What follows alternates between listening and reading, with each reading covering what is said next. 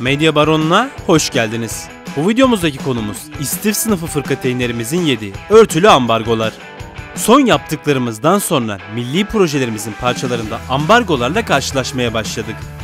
Haliyle bu da projelerimizin yapım sürelerini önemli ölçüde katladı. İstif sınıfı da bunlardan etkilenenlerden biri. Peki yapılan fırkateynimizin hangi parçaları ambargo ile karşılaştı? Yerine milli sistem olarak neleri yapıyoruz? Veya gemimiz bu yüzden ne kadar ertelendi? İncelemeye başlayalım.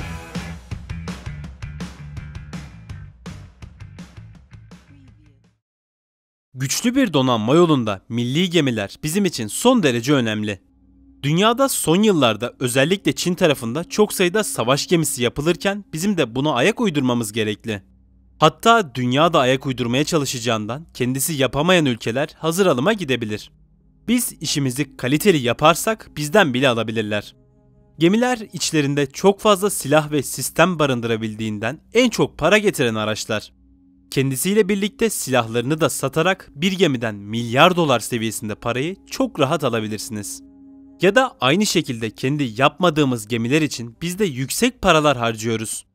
Ekonomik daralmamızın donanmaya vurmamasını bu şekilde sağlayabilir, hatta kâra bile geçebiliriz. Bu yolda ilk büyük adımları Milgem'le attık ve İ sınıfı fırkateyn TF2000 derken ilerlemeye çalışıyoruz. İlk olarak istiflerin en büyük farkı ve gücü VLS sistemleri. Yani ön bölümde bulunan 16 adetlik füze hücresi.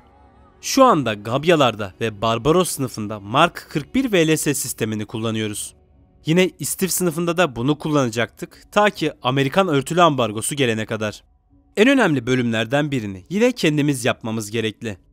Milli VLS sistemi üzerine Midas adı altında çalışmalar olduğunu biliyorduk. Muhtemelen iyi sınıfına yetişilmeye çalışılacak.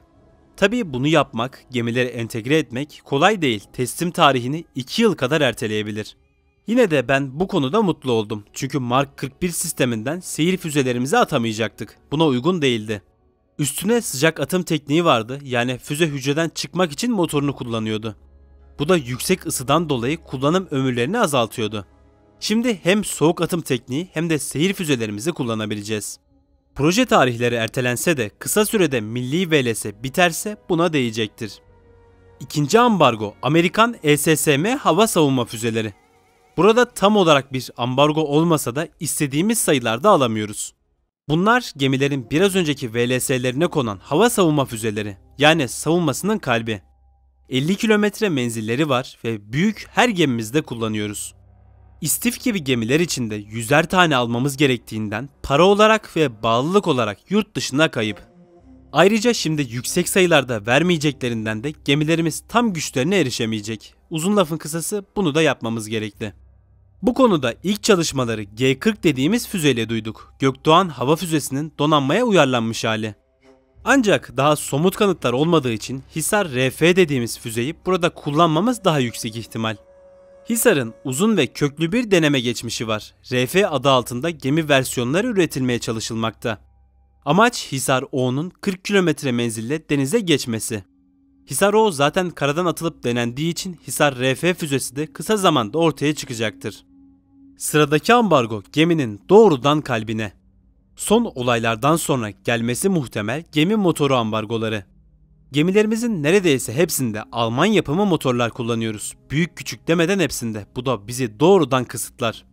Örneğin geçenki kargo gemisi gibi olaylarda yaptırım yapmamız gerekirken Almanya ile restleşmemek adına fazla ses çıkarmayabiliriz.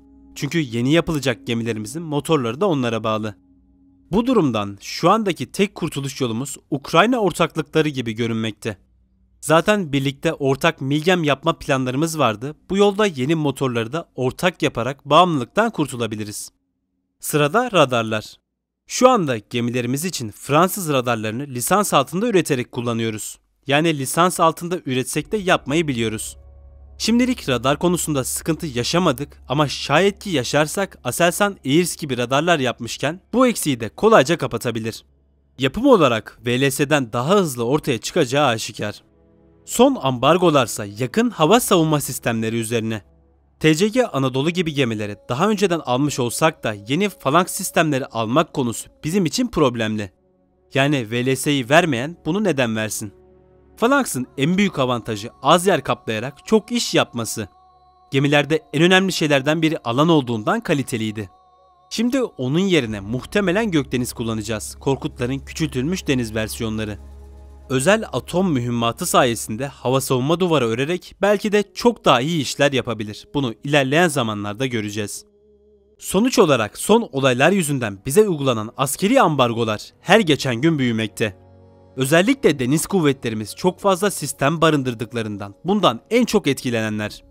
Ancak gördüğünüz üzere şimdilik ekonomi dışında çözülmeyecek problem yok. Aselsan gibi kuruluşlara sadece zaman gerekli.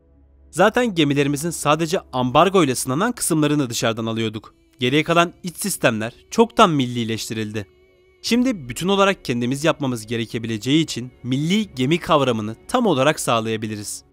Tabi yine Akdeniz için bize son derece gerekli bu gemi muhtemelen 2 yıl daha ertelenecek. Son ambargolar yüzünden ilk iyi sınıfını görmemiz 2025'lere kadar gidebilir. Yorum sizin.